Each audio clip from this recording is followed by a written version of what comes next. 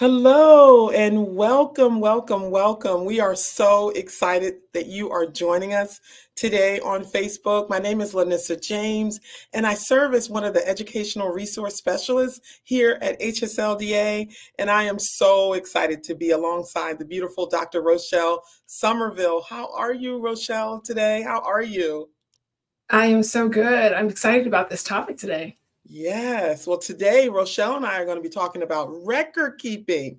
To keep or not to keep is the question, right? A guide to documenting your homeschooler's journey. And would you agree? We all kind of gather a whole lot of things. We're going to just kind of help you sort through um, some strategies to organizing your homeschool record keeping. So, no matter where you're joining us from, we want you to just put it in the chat. Tell us where you're logging in from and Maybe how many kids do you homeschool? What grades are they? What ages are they? Because wouldn't you say, Rochelle, that makes a big difference, right? Are they high school students? Are they elementary students? Middle school students? Wouldn't you agree that the paper buildup is different from year to year, right? Absolutely. That makes a huge difference. yes, yes. So we invite you. We want this to be an interactive um, live for you today so that you can connect with us, you can share. So feel free to post right in the chat. Our team behind us will uh, help us see your questions, and we're just excited to be here. So before we get started, I want to um, point you to our website. We have a wonderful website. It's hslda.org and teaching. Uh, there's a specific link we want you to go to www.hslda.org teaching hyphen my hyphen kids forward slash record keeping. There's such an array of information that will support you no matter what age your student is. So let's get started, Rochelle. Tell us a little bit about you and your homeschool journey. Absolutely. Thank you so much. Um, like I said, I'm excited to be here. Um, as LaNissir introduced me, I am one of the educational uh, resource specialists here at HSLDA, and I've been here for nearly six years. Um, and I've been supporting the families with uh, that are homeschooling children with special needs specifically. I myself am a homeschool mother of six. My husband and I have been on this journey for 17 years. So we have some longevity in this, and um, we have used different systems over the years. And I am excited to share a little bit of those nuggets with you today. So this is exciting topic for me. Yes, this is exciting. And so I'm LaNissir James, the homeschool mom of seven. And so my husband and I are celebrating 29 years of marriage next Yay. week, and we are so excited. And we started homeschooling; it'll be almost two decades, and we have uh, students from ages is 26 is the oldest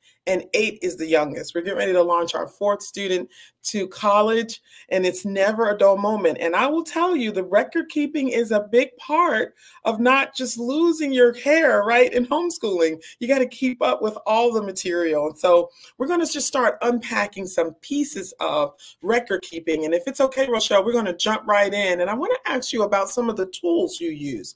And we're going to talk about tools at the end.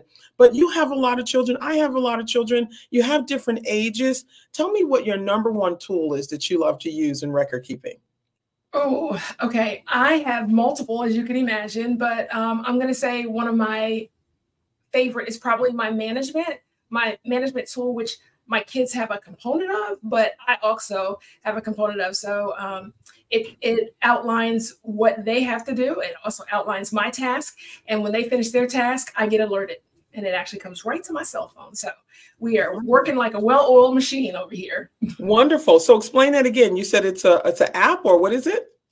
Um, so we have we have several tools. So um, I love the Google Classroom. The Google Classroom does this, but it um, there is there are other there are multiple apps. And listen, I'm all about free, and so um, uh, so these are all free tools you can use. But like for example, the Google Classroom. If I set up a Google Classroom, I, there have been times where I put every one of their tasks I want them to do in the Google Classroom, and as they do it and they submit it, it comes to me as uh, they've completed the task and submitted it. So something that alerts me that the task I've set out for them for the day, and it can even be a schedule, it can even have chores or anything on it that I want, but it comes right to my phone to let me know we are checking off the boxes for the day. I love it. I love it. So you seem like the techno savvy kind of mom, right? Because it's mostly hands free, paper free. Well, I guess I'm still the ancient kind of mom because we're using binders, you know? I have mm-hmm. a binder for each kid for each year Now, I will say that the binder is categorized based on subjects. So we've got our Bible, we have our reading literature, we have our math, our grammar, our science, you know, our Latin. So it's it's set up that way, and each kid has their binder. And so everything is hole punched. You know, so there's some moms that have to have a laminator. I'm the mom that has to have a hole puncher because if it's not hole punched to go into this binder, I have to put it in my other file, which is called file 13 because I, I, can't manage the papers, right? And then, of course, if you live in a state, you know, we're going to talk about how you really need to be connected to the law for your state. But if you live in a state like mine and yours, Rochelle, where you have to do a portfolio review, you kind of are managing paper. And so we put this system together when we first started homeschooling, and we're still using the same kind of system, really just putting it into the, the binders. But I will say that recycle, reuse, um, and repurpose is important because a lot of things from year to year you can recycle and reuse. And we try to do that um, in terms of um, subject separators, et cetera, et cetera. And that has a tendency to narrow down the amount of papers that we're using from year to year. So we're trying, we're trying, Absolutely. right? But you got it. But every mom has to figure out what works for them and make sure that they kind of keep, you know, those materials in, you know, first at hand. Because when mom gets dis, you know, disoriented, the whole operation gets disoriented. Am I right? Absolutely. We're excited that you're on. I see that we have Becky on with a four-year-old, and that's exciting, right? Tur turning five, right? just want to know how to get started, and that's important. We see North Carolina's on, two children, 14 and 15. These are different age groups. You know, she's got a, eight, a eighth grader and a ninth grader moving to ninth and 10th. So people are coming in from all parts. We got Michigan on the line. We got all different states. So if you're just joining us, um, we want we're going to be talking about record keeping. We want to know where you're tuning in from and what the ages, grades of your students are. Because I will say, uh, record keeping does change a little bit. Rochelle, you have high school students, right? You have middle school students, you have elementary school students. So all of that uh, impacts how you keep your records. So I want to ask a couple more questions. Um, how has your record keeping changed, Rochelle, from when your kid was elementary to middle and then middle to high? Would you say Absolutely. changes?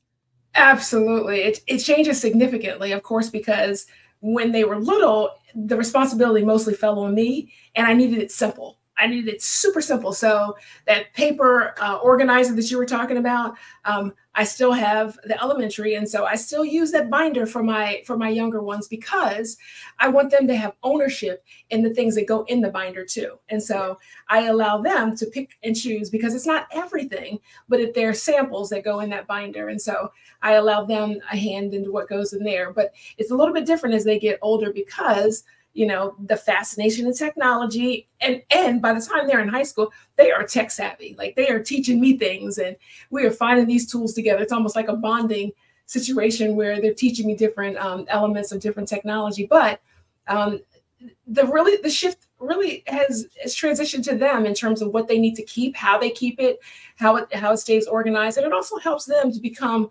organized young adults and so I involve them in the organizational system and what they need to keep, and it helps them stay on track. And so it's a system that's kind of all fits together, but it looks very, very different than the younger ones. What about you, LaNissir? Yeah, it does look different from year to year. And I tell you, when you have high school students, middle school students, and elementary students, you're kind of using all your systems all at one time. Am I right? that's right. That's right. That's, that's true. Let's add, let me ask a question. Let's jump in on the topic. What records are important to keep, and how should we handle records? What records so, are important? Well, you know, the first thing is um, there's certain records that that that certain states require. Um, and so I always say before I even answer that question for anybody, I always reference, um, you know, make sure you know that your legal your legal requirements in your state. And so be sure that is your first stop when you are thinking about your options to keep records and the type of records you want to keep. Make sure you check with your homeschool requirements because there may be something specific, like some states require you keep a log of the hours that you homeschool. So if you're in one of those states or any state, just make sure you know that your what your regulations are. But yes. after you've done all that, this is not an exhaustive list, of course, but here are just some ideas of some of the things that we've kept. Um, you know, samples. Um, the, outside of what you keep, understand that um, the information that you keep for your records, it paints a story, right? I always like to say that, and I tell my kids, make it beautiful. You know, what do you want people to know about you from year to year? And so we paint that picture with, um, you know, books. My, I have a couple kids that love books, and so they do a lot with um, decorating and listing the books, samples. You know, what do you want to keep? And you don't only keep the great stuff, right? So you want to keep a progression of, you know, how the kids have changed. You know, they didn't start off so great, but wow, look how they they ended up. Um, you know, some states, like I said, require attendance records. Some people do testing at the beginning or the ending of the year, uh, progress reports, or any way that you track progress. Um, what about you, Linus? Anything else that you intentionally uh, put yeah. inside that portfolio of yours? That's a good, great list that you're going through. But I love what you said about stories because uh, ultimately you'll always have grandma or an aunt or a friend or a neighbor who comes over who wants to see some of the things that you're doing. So I love to have that whole story effect too to say, hey, here's what I'm working on. You know, we're working on, you know, um, chemistry and physics and and here's an experiment that i did and here's what i learned and here's the periodic table and et cetera et cetera. So no matter what it is it's it's kind of like a story because most of us are probably sticking with maybe probably one aspect of the subject each year right? So you may have picked one aspect of what you're doing for science uh, one level of math and what it entails. So I love for that whole story to kind of unfold. And I also love to see the progression of my kids' handwriting, right? You oh, know, yes, how they wrote what their handwriting looks like in kindergarten versus what it looks like in fourth grade. It's different. And it also shows a, a progress, you know, of how they're growing. Because when you're right in the middle of it, you don't see all of that. You just see what the paperwork looks like and it teaches and i know we're going to talk a little bit about special needs uh, soon but it also teaches order operation and helping them organize their space and things like that. So i love the opportunity for kids to be participatory in the record keep, keeping process. So i think that's super important. So you talked a little bit about your tools. I want to ask you a little bit um, some more specific questions about you know um, workshops or receipts or things like that you're using do you keep those kind of things if they've attended a workshop or if they've um, you know maybe gotten an award for piano or something like that are those are you keeping those things as well I do. I, I, I keep those because remember this is a story we're painting, um, and and there's always I love I love what you referenced about people coming over and wanting to see that picture because people are always fascinated with homeschoolers. Like, what do you do? Like, do you do yeah. more than eat cookies during the day? Right. Yeah. And so, you know, we do, we actually do work, right? You know, we're not always in the store grocery shopping. And so it's a it's a great way to tell that story and their accolades and the things they do, the things they volunteer for, you know, if they got an award for some type of service or an academic achievement, all of that is a part of the story. Um, and then of course, when you allow your kids to be a part of it, that's something that they want to shine at. And so there's always a section for you know, tell me more about you, not the academic part, but what, what do I know about you that's not in here? Not not anything about how smart you are or anything like that, or you know, what you've done in school, but tell me about you. How do you own it? And so absolutely those other kinds of awards and things. And then as they get older, of course, you want to keep those things anyway for, you know, especially during high school, when you begin to highlight some of that and track some of that for maybe later on when they're, uh, you know, at the end when they are um, submitting to scholarships or applying to school because you don't want to wait till the end to be like, you know, as a senior, like, what did I do? You don't want to look back. You want it already be already ready to be there.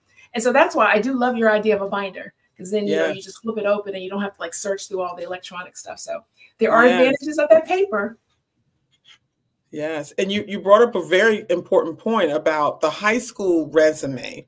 The high school resume tells a story and on it, you're going to be recording things like their extracurricular, you know, their volunteer service, you know, maybe awards, etc. And I will tell you, it's a big fog when you're in the middle of high school. Am I right? So, you know, we Absolutely. keep this this you know binder this box if you will where we keep the rewards. So maybe they were at a piano recital and they placed you know some sort of level or got some sort of award you forget about it later but when you're needing it to go on your high school resume it becomes very important. And what i love particularly for my high school students is i love talking about uh, how to hand someone a high school resume and their high school transcript at the same time so that they can write a letter of recommendation for, for you it helps get a snapshot, if you will, of your student. And you can include sports on it. These are the things that won't go on a transcript. It's actually going to go on your high school resume. And and I believe a lot of that starts very very early. Maybe you're in 4-H or maybe you're a civil mm-hmm. air patrol or you know whatever the things that you're doing with your children. Um, I think sometimes as homeschoolers we do so much with our kids that we forget to document it. And then once it's a time for us to talk about it, um, we're not as crisp because we don't remember or it never went on a piece of paper. Or how about volunteer hours, right? So if your yes. student is volunteering someplace, then you and someone says, Well, how many hours? You're like, I don't know, I never counted it up, right? So it's so important that you have these important documents all put together. But here's a question for you, Rochelle. Do you keep a separate portfolio for each kid? Absolutely. There is no other way that it could work. Um, because again, I'm going to I'm going to keep saying this. I think that record keeping is all about storytelling, and each individual child has a story to tell. And so, even though I have six kids in my family, they're not all the same, right? And so, you want them to have some type of ownership to it. And so I want each of their individual personalities to come out. They've all got them decorated differently. You know, of course, it's standard in the front, you have their name, but I want to know, you know, when they share their their information with people, whether it be a PowerPoint with their accolades or anything, I want them to feel some pride in terms of what they have organized as their story. And so every single one of them have something different because every one of them are unique. Yeah, that's so true. So here's the most important question to you. And um, we're going to give you some resources that you can connect to find out more. But the question we hear a lot is how long do I keep my homeschool records? Right. And we have a, a, resource on our HSLDA website. It's called The Essentials of High School Record Keeping. This question comes up often like, how long should I keep it? What would you say about this, Rochelle? How long? Well, yeah, I'm going to say that we always recommend about a three year cycle. Um, that first, the, the current year, and then maybe samples from the previous years. But um, again, this may be something that you need to check, make sure that you don't have any state requirements. So always check what your legal requirements are. But uh, we would recommend maybe a three year cycle if you don't have any specific state requirements. Uh, because if you think about it, when you have multiple kids, uh, and you have multiple binders. Now, Nissa, how many binders do you have at this point? okay, because you graduated a couple, you got four going into school, and you still have littles. So, how many binders is that if you have one for every year? So, it can get thick. Um, you know, but there are some things also that you want to permanently keep. Is there anything that you would say you permanently keep in your records? Yes, things like uh, test scores, if you happen to be giving your kids test scores, right? Transcripts, transcripts are important. Absolutely. We'll talk a little bit more about that. Um, uh, perhaps the, you, I love having kind of like a summary of course description of what my kid is using for a particular subject. I like to keep that so I know what I use for English, right? What books I use. I want to know what literature books they read. So I kind of keep those items and maybe not have so much of the sample work. But I will also say in high school, it's important to keep samples for each year because I think the ninth through 12th grade year is the only time where you have this four year span where every year matters, right? Mm-hmm. Um, so from your unique electives to those five core English, math, science, history, foreign language, they all kind of tie together and they tell a story. So in your high school years, it's kind of good to keep all of your high school records, right? I know you said three, four years, but you know, we definitely want to hit the high school record book. And so I have a high school record book for all of my kids, and it just has that course description right? It has a little bit of, you know, how I did grades, et cetera, et cetera, so that I have what I need to put on my transcript, which is really important. Anything else you want to say about this topic?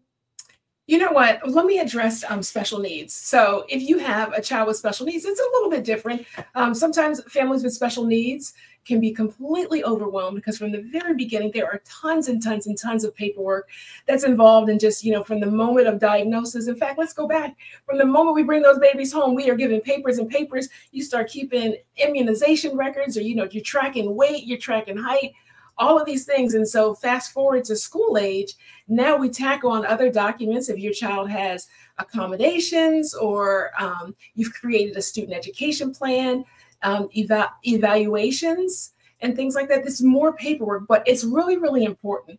a lot of times to keep that extra paperwork because um, it, you want to show that progress. Again, these kids have a story too, right? And you want to show that story. And it may change over time. And sometimes we're so overwhelmed that we don't see the little things that are occurring. A lot of times with families with special needs, what happens is, is that we get overwhelmed within a year because there's a lot to deal with your therapies and medical things and, and you're still managing other kids a lot of times is that you miss the little things but when you keep records and document things you see it you know so it's really nice to keep the records um, you keep them all together so that you can kind of look back when you have those you know you sneak those two minutes in those two to five minutes in here and there and you kind of you kind of um, you get you paint the picture of those kids too so you always want to make sure you are painting some type of story and giving your kids the opportunity to tell their story through whatever records that you keep. Yes, yes. And even if you're doing a lot of eclectic learning, which is, you know, maybe not so much structured with curriculum, but maybe you're a junior ranger and you're traveling and maybe you're keeping record or pictures of where you travel, where you what you learned um, when you were there. So there's so much eclectic learning as well. It doesn't always have to be um, structured from curriculum, etc. It could be things from your experience. Um, we also like to spend a lot of time with grandpa- grandparents and sometimes they give you things, right? and so sometimes we make that part of our records. In fact, um, one year we were working on our our family tree and turning it into a timeline you know so there's just so many things that you can do that's eclectic and that you learn along the way. And don't forget about those great field trips right rochelle? Do you want to talk a little Absolutely. bit about field trip? That's your thing Absolutely. right yes yes I, we love field trips. Um, half of our learning um, is in the house and half of it is just out in real life. And so we do lots and lots of field trips. We learn something and then the culminating activity to get the kids excited about doing the work in the house a lot of times is an activity a field trip. And so we be sure that we document those kind of things as a part of the learning too, because it is part of that learning experience. We also love the vacation. Now I know, Vanessa, you're an RVer, you and your family, and and those are some rich experiences um, that are all part of the educational journey. And so, we are sure to capture those, and somehow, whether they go into they print them out in paper in paper form, or we make some type of electronic um, display of them, but somehow we capture those trips too. And we somehow, we um, a lot of times when we're going to uh, vacation and thing, we're tying what we learn into those vacation spots. And so it's a great way to feed it right into your portfolio, whether you're keeping it by paper or electronic. Yes, I love that. And you know what? You can do a yearbook at the end of the year. I am definitely a keeper of all things photography. Like I can have, you know, every aspect of my life. I've got thousands and thousands of pictures. And so it could be fun to maybe go to Shutterfly and make a whole picture book, you know, of your homeschool year. These years are fleeing, they go so fast. And so mm-hmm. it's an opportunity to say, hey, um, let's just summarize what our 2023 2024 homeschool year was like. What was a highlight? How about the sports? What sports did we play? Where did we travel? You know, what new friends did we meet? And it becomes, you know, each homeschooler's, you know, storybook. So I love that, you know. And of course, what do you do with the pictures now, right? Nobody prints out pictures anymore. so it gives you an opportunity right. To make a book. So now you can just kind of upload it onto your account for Shutterfly and really just make a yearbook of the year. And and what I love about that, this this becomes a forever keepsake. And it also is such a great tool for others who are looking to homeschool, get in connection with you, want to have a conversation. And it also helps your children tell a story about their education, which is fun, right? We had the media at our house and they wanted to interview the children, and the children was telling the story. And so it's great for them to uh, kind of repeat what they learn. And I bet this is great for even kids who have special needs, right, Rochelle? To be able to Absolutely. tell the story. Absolutely. And that visual piece actually helps them to tell the story because now they don't have to depend on their memory. They actually can, you know, take you through the story through pictures. And and you know, as you talk about as you talk about the memory books and things, it makes me think there are still, you know, my son, my oldest son has graduated now and he is a junior in college, but when we look back, we see the pictures of him going when we were going through the museum when he was in third grade. Like, so it's not even after you're old and, you know, you're sitting on the chair, the rocking chair outside, you know, just a couple years down the line. Like LaNissir said, these years pass so fast. I literally remember learning with him when he was in kindergarten and now he's a junior in college. And so looking back on those and even showing the little, my little ones who weren't there at that time um, yeah. and letting them tell the story, you know, or, or letting them ask questions it's it's really powerful. It's a powerful way to even build a relationship with your younger ones um, and and share with your other family. So I love the idea of of kind of a photo gallery yearbook kind of idea. Yes. And let's not forget about these, and you probably know more about this, Rochelle. The digital, they have the little, I'm, I'm not an iPad user, but I know there's lots of iPad users out there. You guys love those iPads, right? And what if you had like a digital tool of the pictures? You were just helping me with something similar to this the other day, right? Where you put all the pictures together and it goes as a slideshow, right? So if you mm-hmm. decide absolutely right that you want to, hey, I don't I don't want to sit in the Shutterfly, I don't want printed out, but I want to create a slideshow. Talk a little bit about how you can tell a digital story about record keeping for your homeschool. Absolutely. And as you had started, you know, some of these apps now, all you have to do is upload the picture and then they literally make the display in the slideshow for you. I mean, you, I mean, it prompts you to walk you all the way through. You pick a song, and you pick. Um, they will put it in order based on category, based on faces. You know, so some of the technology now is pretty amazing. So that you don't necessarily have to be tech savvy. But now, I'm also going to say, if you have a, a a rising middle schooler or a high schooler tap into their creativity because they probably know more than you when it comes to technology. And this is even without teaching them, because I'm going to tell you, I didn't teach my kids half of the things that they know. And we are a family who does not, I, I restrict technology, so they have limited access to technology. But somehow during those times, they have figured out how the technology piece to make things really, really aesthetic. They have made some beautiful displays of their work um, and some beautiful PowerPoints. And so, and this is just by trial and error. I will give them the project and I'll say, okay, you figure it out. And so I love it. And so, so use your kids, um, use it as a learning experience. Yes. Uh, it's a great way to kind of pull it all together and take the load off of you and make it enjoyable. Yes. And with the background for me in television and film, how about make a movie? Can that wouldn't that be fun, right? Um, you know, compare, you know, combine your still photography and your videos together and you can do an iMovie of your homeschool year. Wouldn't that be cool? People come by and you can have your graduation. We do this often. We call it a video montage of just a, a culmination of all of the things that you've done all year. And it helps you breathe. It helps you enjoy the summer better as well, right? Mm-hmm. Because you mm-hmm. see a, a summary of everything that happened. So there's so many wonderful things you can do. I have a question for you though, Rochelle. Are you ready uh, for Uh-oh. this? I'm ready. What do you do with the books? Books, right? When you have multiple kids and you know they're coming behind you, right? When you say homeschoolers, we have a lot of books. If you're a homeschooler, what do you collect? We collect books, right? So, what do you do with the books? How do you organize it? Uh, now we we we have bookshelves and bookshelves and bookshelves. My, if you ask my husband, he would probably say we just build another bookshelf. Okay, but I'm gonna give you another answer. We have bookshelves all the way to the ceiling in the basement. But um, what I try to do is I make it aesthetic. Okay, but they are they are part of the journey. And so uh, you don't want to get rid of them. But what we do end up doing is collapsing them into something that's more reasonable. So whereas they may be thick and just just represent one year at some point. Um, at some point, you know, as elementary is done, we make we may combine a couple of them into a, larger a, a, larger maybe uh, four inch binder. So we do collapse some of them, um, yes. uh, the binders that with the portfolios that we've kept, but we also create some of those portfolios into digital portfolios. And so we eliminate the binder altogether because at some point when you have six kids, you're gonna run out of space unless you, you take out the bedroom. Yes, yes, you are. And you can even be a part of book swaps too, because you know one man's rich, one man's waste is another man's riches, right? And oh, and oh, where you're done with it, but maybe you changed your mind on a curriculum, you can team up with other homeschool moms and do a book swap, and so that books will learn just how to actually connect, you know, with other people. So I'm challenging you to make sure that you connect with other homeschoolers who actually have books who they want to share. So that's exciting. And one of the quick tools that I use is a bend.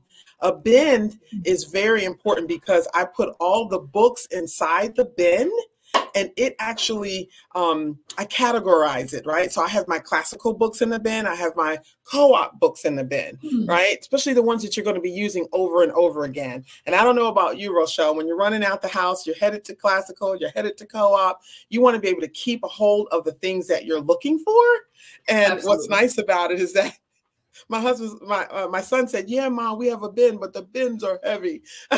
but it does make it easier to get out of the house. How do you get out if you have books and several kids? I know everybody has their book bags, but if you're leading a group, how does that work for you? You know, I'm with you. I have different organizational bins. They're all different width, sizes, uh, um, you know, and and that was funny what your son said because everything I have has wheels. Because yep, it's going to get heavy. But you know what? I also have five boys, and so I'm gonna let them. You can pick it up or you can roll it, right? But I do. They're they're organized different ways. You know, this one goes with us on Tuesday to co-op. This one comes with us. To, you know, this has to go into the car for church. I even have baskets to stay in the car for groceries. You know, so we can get it in the house and they stay in the they stay in the car. And so the more I organize, the more I'm finding it's easier to navigate. And so I really work hard to think of an organizational system before I even pivot to do anything. And so I, we we around here have systems after systems after systems, and we, we it's been trial and error because some systems we figured out that we work harder to work the system than it's even worth it to use the system. And so you know we kind of push that one to the side and we we come up with something else. But uh, we have not been afraid to get rid of a system and invite a new system into our lives. And so we're all about trial and error. But I think the the bins, the individual bins that go separate places has worked best because then you're not shifting and and reorganizing every time you have to walk out the house. So yes, I do like that idea. That is so true. Well, uh, we can't get off this topic without talking about transcripts because ultimately all of this culminates to an, end of a year that uh, people actually get a transcript. You want to talk about transcripts? Absolutely. So, of course, transcripts is for high school is just that picture of high school, right? It's going to be it's going to be all the classes. It's going to be um, all the activity, the extra extracurricular activity, the service. Um, uh, well, th- this is well. I'm sorry. Let me separate those two. So you want the big picture in terms of record keeping, but the transcript itself is just a document that that highlights the accolades from your academic career. So that could be whether you know you were homeschooled just inside with your parents, and then you took a co-op class, or you know you may have been dual taking some dual enrollment classes. So whatever that academic journey looks like, um, that's what your transcript would look like. And even for students with special needs, you're still going to have something that um, a lot of students are still going to have a, an equivalent transcript um, that's going to paint that picture of their academic journey. Um, the course titles are going to be something that is representative of whatever your journey looks like. So if it's a modified one, that's going to be represented in the title. But it's going to it's going to also be one single document that paints that picture. Uh, and there are other things that can go with it, like LaNissir mentioned, the extracurricular sheet that will highlight all those other bells and whistles that make you uniquely you. I love it. That's it.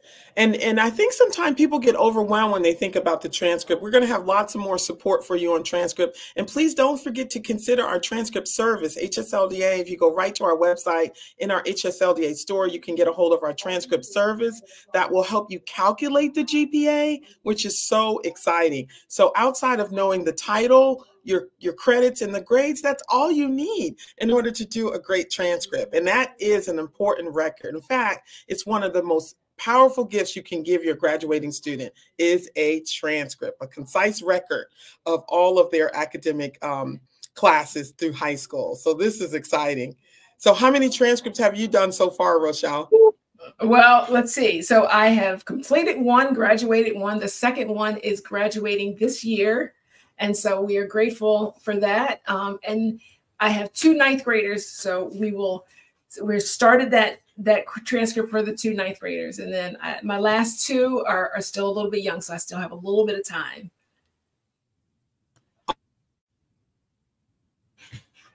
You're oh, LaNissir, you're on oh, mute. oh, we have time for a few questions. So we're excited about your questions. So tell us where you're calling from and what kind of questions you have about record keeping.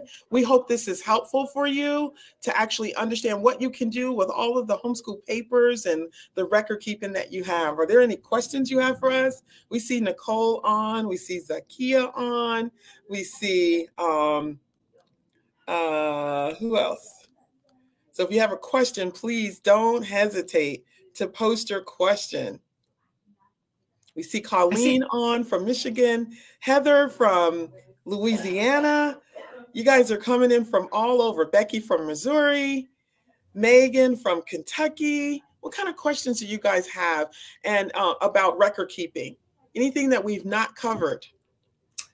We know we briefly talked a little bit about how to organize those records. Um, there's a couple you know we we just touched on um, a couple things but there are other ways you know the, the digital and you can do it either digitally or you can do it by paper which we described already but um, you know as a part of this story there's lots and lots of ways that you can that you can keep and organize your records. Some people that are more hands-on uh, some people use it like a three ring accordion binder. Uh, we talked about the photo albums um, we talked about some digital options. Some people actually use a homeschool planner do you use a homeschool planner LaNissir? Yes, I am big on the homeschool planner. You know, I'm big on uh, putting things on paper and, you know, wrote a whole book on homeschool planning. I think that if you get in front of it, it takes the stress away right? So if you decide before the kids wake up, I don't know about you, but it seems like when the kids wake up and the family gets going, your brain can't settle to what it is that you need to be doing. But when the house is quiet and you have some time to sit and plan, you can look at the, and then you're like me, Rochelle, we have several kids. So you may have a different academic plan, right? For each student. Right. I have a second grader, I have a seventh grader, I have a 10th grader, I have a 12th grader, and all of what we're doing can be different. So, sitting down and having a plan ahead of the kids in front of you is a big deal. It's a game changer. So I challenge you to really um, spending some quiet time and uh, and sometimes when you plan by subjects, it makes it easy. I don't know about you, Rochelle. Mm-hmm. Do you sometimes get to the end of the year and you realize that your subjects are kind of lopsided, right? You've done a whole whole lot in math and not as much in reading. And oh my goodness, don't forget about history and don't forget, did you finish the science? So sometimes it can get lopsided. So being able to have a daily planner and um, also keeping your subjects together really helps you pull together a totality and a well-rounded student, right? Do you sometimes have that trouble, right? You get to the end and I do, I do, and you know what the interesting thing is that it, a lot of times what I realize it me- it meshes with my passions. You know, I, I honestly love math, and so what I, um, you know, I distinctly remember last year when I was pulling out, um, I was pulling out trying to organize my eight year old, and I said, well, you know, let me give him a picture of all the books he has, you know, um, that he has, and I was trying to organize his system, and I realized, well, wait a minute, he has like three math math books that I'm using. I was like, wait, wait, you know, but it wasn't until I laid it all out that that it kind of it, it was in my face that you know this is kind of lopsided. Um, but we do lots of you know, like you said, um, the organizational piece is a lot to think about, but we do it up front. We do it up front because I realize that if I can find an organizational system that works for not only me but the kids, then it then things will go a lot smoother during the school year. And so yeah. there's a component of our organizational systems that's for me, and there's a component that's for them. I have a planner, they have a calendar, you know, and so it kind of feeds into each other. And then we use lots of things in between that. You know, in the binder, there are colorful inserts, you know, um, especially if you have students with special needs, there's a little bit extra you have to do to organize. If you have anybody with um, ADHD or any executive functioning, that organizational piece is a lot, right? But but the more we can help to organize uh, ourselves and them, the better off it is. And so I do a lot um, with you know color inserts and labels and tabs, and I am the tab queen. Ask for a color, I have it. You know exactly what we're printing, all of our texts. I love it. I see Erica has joined us. She's going to watch the replay. Yay. And I see Jessica has joined us. And yeah, she's saying a fear of not having enough and doing enough in record keeping. I think we all have that fear. And I know for us is that when we have our students out and about and they have their book bags i don't know what happens to those pieces of paper inside the book bag right? You're, you're hanging out you're at co-op and then you come back and you're like well where was the piece of paper? Or you know they worked on a project somewhere. So trying to preserve some of the work that they might be getting in um, their cooperative classes or um, you know or tutoring or tutorial you want to keep a hold of that as well. So sending the kids out with a folder is also another system right? Because Absolutely. if you don't have a folder or something to put it in, it just kind of gets all shoved in shoved in there. I see Zakia asked us about sports. She says, "How do we record keeping sports involvement?" Yeah, that's a good one, Zakia. Yeah, I don't well, leave anywhere without my phone. You know, so we've got the digital, we've got the pictures, um, but you know, it, we when it comes to high school, it's a little bit different. Um, yes. What do you think about that, Linda? Yeah, so I had uh, not one, not two, not three, but four junior Olympic gymnasts. a lot of junior Olympic gymnasts, and then now, right now, I have a basket, two basketball players. You know, one who plays soccer. We do a lot with sports, and so you know, I think the thing of sports is that you have to ask yourself: Is your student leaning towards an NCAA career? And if so, there's a digital aspect of sports that's important because now you have to tell a story for you know for recruiters to find your student. So it's the same approach, but now it's now on a digital. So now you're trying to get to games and trying to keep a record, right? So you need to be very intentional. If you have an athlete. Um, and then if you have a, a, student like all of my students, in fact, my oldest daughter went to school as a, a, student athlete and she came in as a coach of gymnastics, you know, having gotten all her certification prior to finishing high school, you know, her records of what she was doing for sports was important. And so where she placed and, you know, all of those little details that I promise you, you will forget if you don't have a system to writing it down. So we used to keep the little meet paper, you know, the meet booklet. And that Absolutely. was the best way for me to keep up mm -hmm. to what meet and where they placed and, you know, how this meet went and what they did on floor, beam, you know, uh, bars, etc and that's kind of helped me keep up because you need a system. And so when you get ready to tell the story, it's not just all hodgepodge jumbled together, right? You know, um, you know, hit a home run at the baseball game, or you forget about what game that was and where you were and what city you were in, especially if you're traveling sports mom, like I know you are, Rochelle, right? absolutely, absolutely. You know, and if you, you know, Brandy Frank mentioned that this was all an, it seemed like an intimidating process to pull all this together, but she used a simple Excel spreadsheet that's on the HSLDA website. Website, so be yeah. sure to check out that HSLDA website because it doesn't have to be that elaborate when you when you do something electronic. There are simple things like Excel, you know, and Excel can be simple and challenging at the same time. But what's it what makes it more uh, which makes it simplified is when somebody has already done the pre-work for you. And so I think that's what you'll find on the HSLDA website. So thank you, Brandy, for that for that reminder. Yes, and that kind of brings us to a close. I want you to think about your last tip of record keeping as I remind everyone to go to our website at www.hslda.org. And I want you to go to the section where it says Teach My Kids slash record keeping.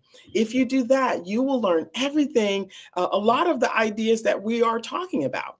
So, Rochelle, in closing, what would you like to share as a tip for all of our listeners? What kind of tip do you want to share in record keeping? How can you encourage them? Absolutely. I would say, um, as intimidating as it might feel, um, and as much time as it might take, actually spend the time investing in an organizational system. So, not just one little tool, but a system that will bring it all together. Because then, when you get in the rhythm of homeschooling and actually going through your days, you're just feeding into this system and you don't have to think about, oh, well, where do I put this paper? Where because that paper becomes overwhelming. And then, when somebody asks for something for you, you don't have to work about it. You don't have to worry about it because it's already in your system and you know exactly where to find it. So put your energy into the beginning where you are developing or figuring out what your system's going to be because it'll save you a lot of time in the end. I love that. That's a great tip. And I think my final tip is I love the basket you know, a lot of times when you're uh, homeschooling multiple children, or even if you have one, um, you have work that you they're working on, and you might not be able to take action on right away. So I have this little magic little basket where the kids can just put the items that they want mama to see inside the basket right? So if you want me to check your math later, or if you want me to read over, you know, you have your papers that you've written and you're turning in your homework, if you will, right? Your homeschool homework, you know, mm. there's this basket. And so it gives an orderly place to put the things that is in the mom to do box because we're not taking action on everything at the same time. So it gives you a place to kind of stack. And then when I return it, I write notes, it goes into their binder. So it's a system to kind of house management, if you will, of how to manage the things that the students are working on, what they're bringing in from their class, what they want me to see, that I've had a chance to see that goes back to them into their binders, right? And so just having a system is what you said. I think we agree about that. I think between the two of us, we have what, 13 kids, right? That's a lot. It's a lot. so we appreciate you guys all watching today. We hope you learned something about record keeping and that it's just lighter for you, that it's not so much of a burden, but an absolute blessing. And like Dr. Rochelle said, a story that you're telling about your homeschooler. So that maybe grandma or your neighbor or your friend, or maybe someone who's looking to homeschool just like you will have the opportunity just to see the beauty of home education because it is such a blessing. So we just thank you for watching. God bless you. And we hope to see you again. We have some more Facebook Lives and our also our webinars coming up for our HSLDA members. We have all kinds of information as uh, educational resources available for you that you can homeschool. So thank you so much for watching and bye thank for you. now.